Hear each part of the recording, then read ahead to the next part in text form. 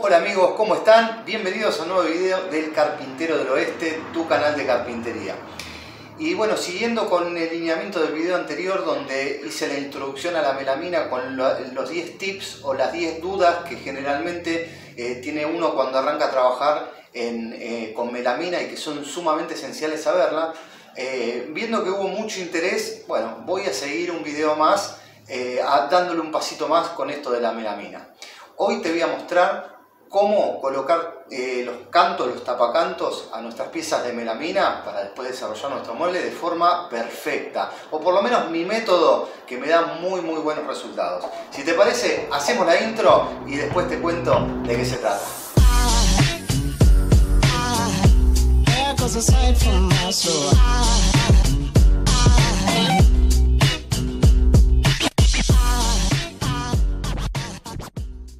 Antes de comenzar te voy a dar una recomendación o un tip.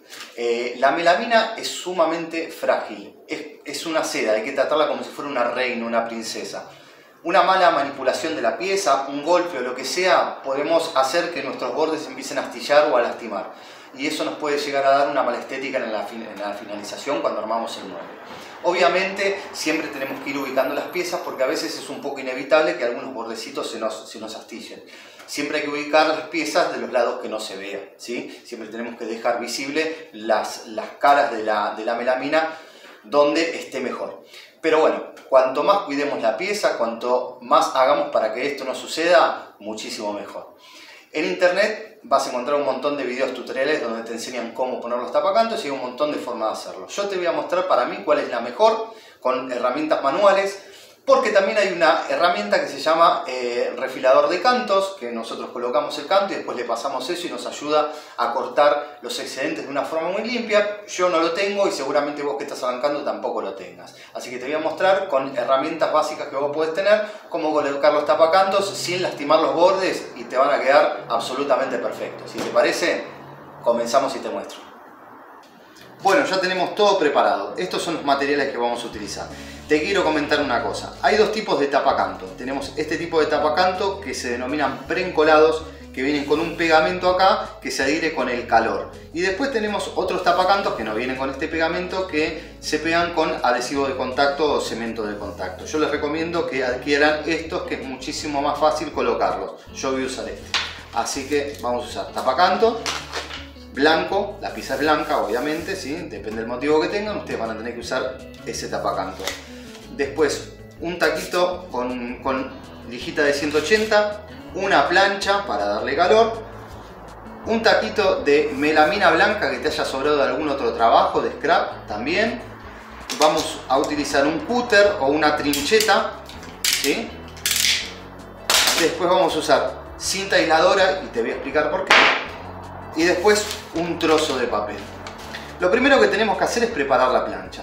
Si nosotros calentamos el tapacanto así como está, fíjense que generalmente todas las planchas tienen eh, suciedad. Si nosotros hacemos esto, vamos a lograr que nuestro tapacanto se ensucie o se queme y quede tremendamente feo.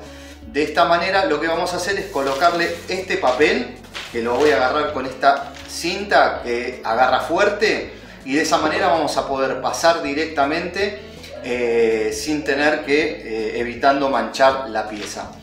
Muchos ponen una hoja, pero para mí es más práctico colocarlo en la plancha. ¿Por qué? Porque si tengo una pieza muy grande tengo que andar corriendo y pierdo el eje del tapacanto y lo puedo llegar a pegar torcido. De esta manera, pegándolo acá, me olvido y por más de que tenga que colocar tapacanto en piezas muy largas, no va a haber ningún problema porque el tapacanto lo voy a poder manipular de muy buena manera. Así que bueno, vamos a colocarle el papel a la plancha y arrancamos.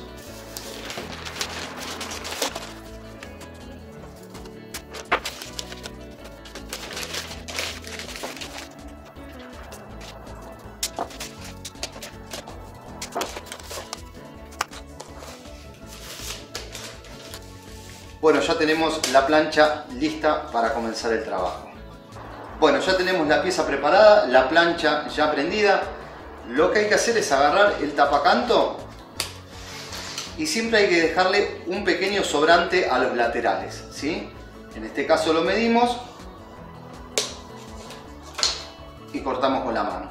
lo centramos bien, chequeamos de que el tapacanto no nos quede así torcido, porque si no después vamos a tener un grave problema. Entonces, que nos quede parejito un sobrante de cada lado, agarramos la plancha y comenzamos. Lo que hago yo para que tenga una buena adherencia es darle bien en los bordes primero y así voy llevando y que vaya derritiendo ese pegamento y se vaya adhiriendo a la madera. Siempre los bordes son más críticos, o sea, hay que tratar de poner mucho énfasis en los bordes, porque se despega ahí y sonamos. Y lo que yo hago generalmente es darle, inclinar un poquito la plancha y darle un poquito en los bordes también, para que adhiera bien y no se nos despegue, que son los puntos más críticos. Los filos son los puntos más críticos. Una vez que le pasamos bien con mucha paciencia, lo que hacemos es agarrar el taquito blanquito y empezar a darle para que el pegamento se expanda mejor. Le damos en los bordes, en las partes más críticas del tapacanto.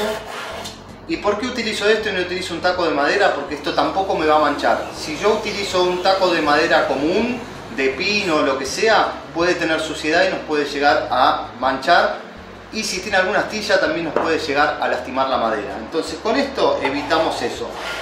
Fíjense que el tapacanto queda completamente blanco, ¿sí? Así que lo que hacemos, siempre yo le hago dos pasaditas, dos pasaditas y después le paso el taco. De vuelta el, taquito blanco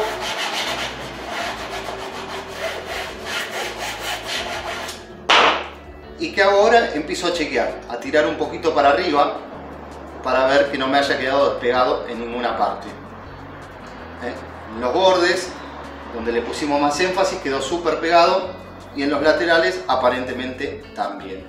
Quedó acá, me falta un poquito, entonces le vuelvo a repasar en esta parte. Lo dejamos un poquito para que el pegamento se derrita bien y le pasamos el taquito para que expanda. Ahora sí quedó, quedó bien pegado. Acá me falta.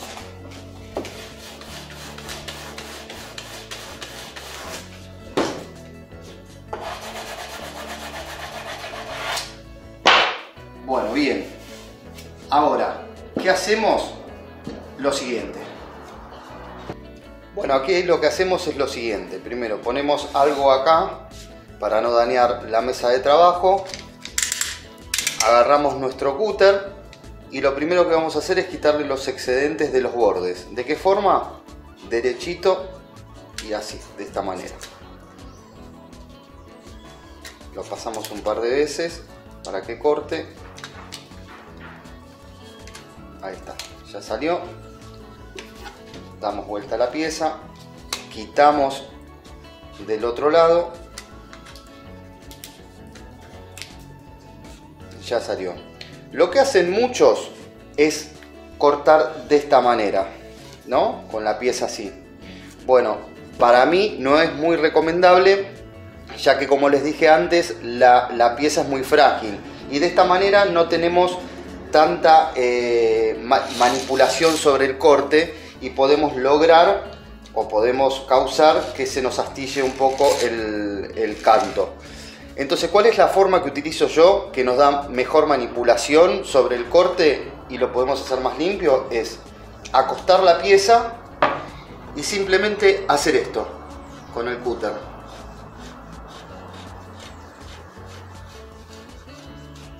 Vas cortando el ras. De esta manera tenemos mayor dominio sobre el corte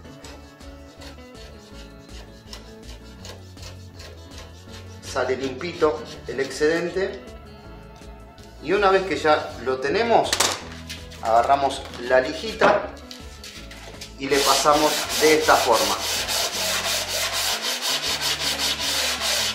siempre inclinado sobre el canto, ¿no?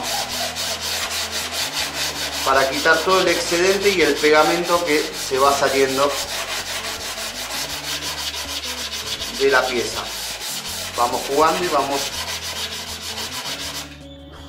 Y de esta manera vamos a ver que nos queda completamente... Y de hecho tenemos que lijar menos, porque al sacarlo limpito, la rebarba que nos queda es muy poca.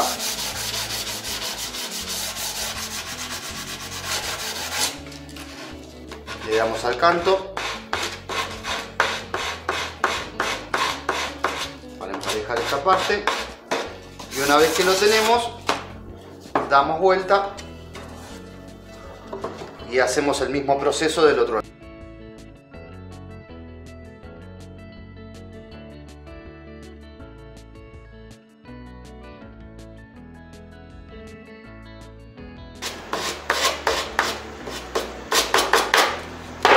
y ahí nos quedaría ya el canto colocado y ahora voy a ir de aquel lado y te lo voy a mostrar de frente para que veas el resultado final de nuestra colocación del tapacanto.